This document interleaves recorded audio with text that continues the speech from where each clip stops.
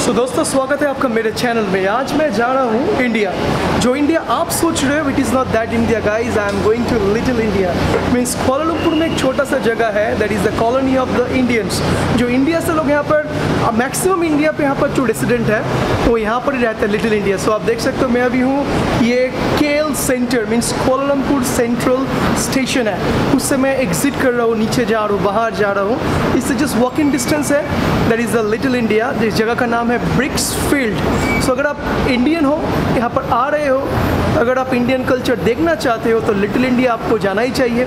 तो मैंने भी सोचा कि वो आज वक्त निकालो टाइम निकालो let's go to little India explore India का कल्चर कोलमपुर में कैसा है and let to explore that तो जा रहा हूँ लिटिल इंडिया एक्सप्लोर करने के लिए, देखते हैं आगे आगे होता है क्या?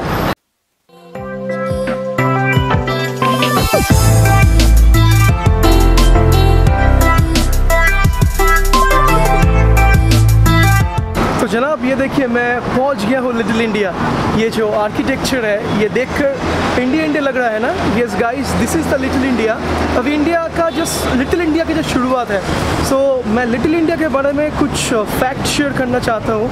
एक्चुअली लिटिल इंडिया के बारे में नहीं है ये इंडियंस के बारे में है जो यहाँ पर मलेशिया में रहता है। सो so, गाइस इंडिया को इन्वेंट किया था कौन? इंडिया को डिस्कवर किया था फास्कोडा गामा कि आपको पता है फास्कोडा गामा इंडिया पहुँचने से पहले इंडिया के जो साउथ इंडियन लोग हैं मीन्स तमिल लोग हैं, वो इंडिया के बाहर गए थे और मलेशिया को एक्सप्लोर किए थे। तब से इंडिया का जो कॉलोनी है, इंडिया का लोग है, इंडियन का कल्चर है, मलेशिया में आकर बस गए हैं। सो आप सोच सोच सकते हो, जो साउथ इंडियन वाले हैं, जो मलेशिया जो तमिल लोग हैं they are also very much famous for their sailing they are very much famous for their exploration so तब से अब तक इस जगह को डेवलप किया जा चुका है और you can see that a lot of uh, South Indians uh, they have been living over here for long long time इन लोगों का कंट्रीब्यूशन है मलेशिया का डेवलपमेंट में और इसीलिए इस जगह को नाम भी दिया गया है for the respect of them little India आप पीछे देख सकते हो this is the Indian culture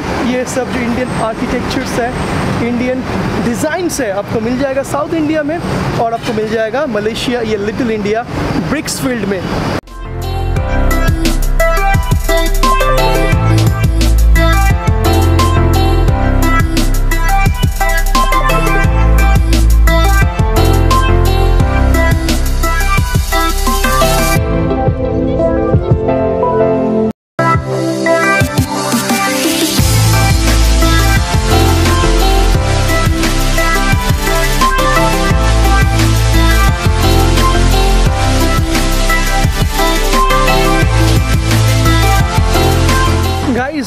Is the statue of Vivekananda are ये देख सकते हो विवेकानंद आश्रम है। It is not in India it is in Kuala Lumpur आप देख सकते हो, जो इंडियंस यहाँ पर रहते हैं, वो लोग इंडियन कल्चर को भी कैसे समेट के रखते हैं यहाँ पर। ये आश्रम, ऐसे आश्रम आप इंडिया में तो बहुत मिल जाएगा बट कोलालमपुर में आकर विवेकानंद जी का आश्रम देखना, ये तो कमाल का चीज़ है।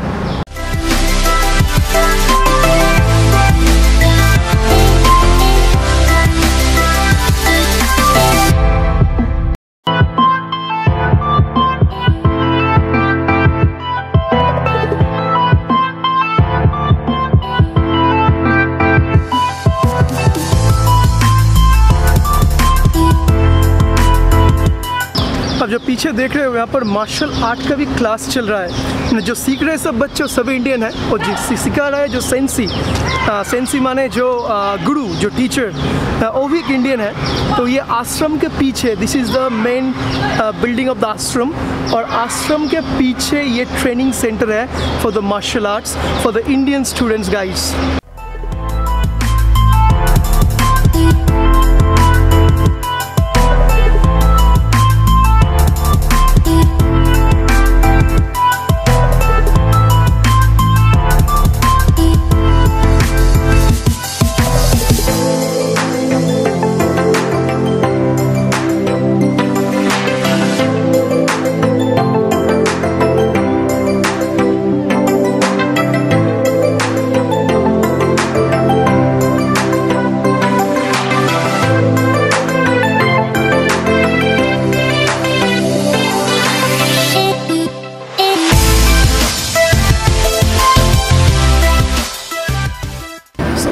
जगह तो कमाल का है। आपको ये जगह पे आकर कहीं से नहीं लगेगा आप मलेशिया में हो, आप कोलालमपुर में हो।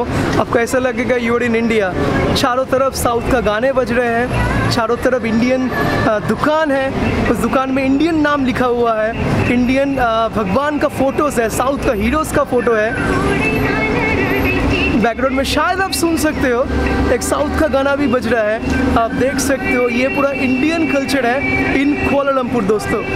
तो जनाब चलते चलते मैं आ, चुका हूँ in small flower market of little India आप देख सकते हो चारों तरफ़ यहाँ पर फूलों का ही दुकान है।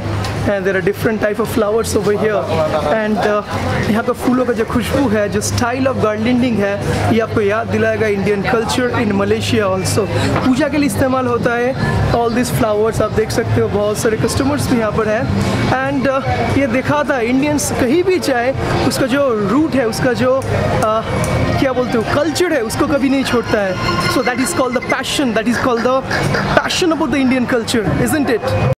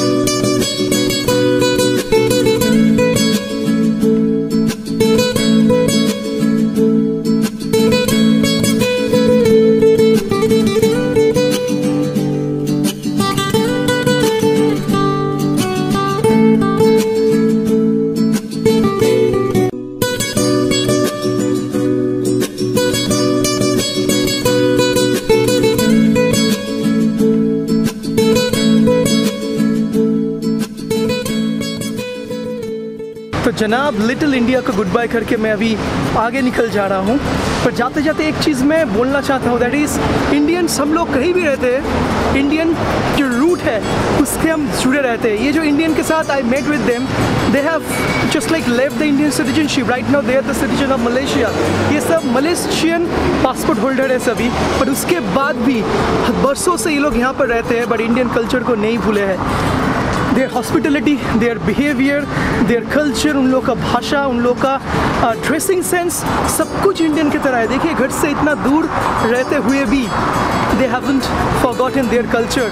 They haven't forgotten that is their real identity, that is their Indians. So, ये भी एक सीखने का चीज़ है।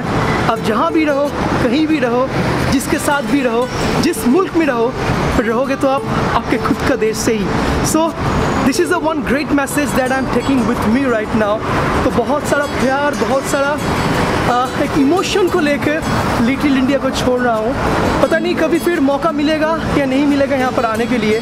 अगर नहीं भी आ पाया so I will remember little India ever in my heart so दोस्तों this all about little India from the Kuala Lumpur अगर वीडियो को अच्छा लगे तो इंडियन के लिए एक लाइक कर दीजिए वीडियो को शेयर कर दीजिए और चैनल को सब्सक्राइब करना मत भूलिएगा। सो so, दोस्तों see you in the next exciting video